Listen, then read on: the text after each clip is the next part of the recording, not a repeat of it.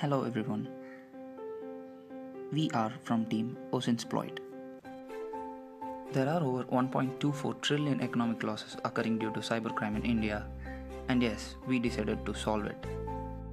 We started working on a problem statement that involves helping police to track cybercriminals. We built an application which police can access remotely the application uses open source intelligence to gather data about the suspect from a profusion of 200 plus sources.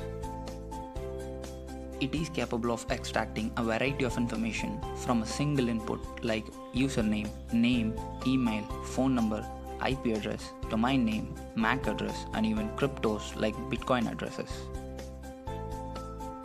In addition, it can extract sensitive metadata from PDF and images, perform reverse image search, and also construct a heat map by fetching the location of multiple IP addresses simultaneously.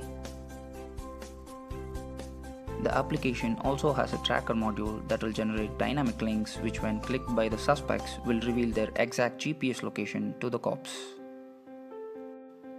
We, as a team, hope that our solution will help for better policing in the upcoming days and enhance their ability to solve crimes in an efficient and convenient manner.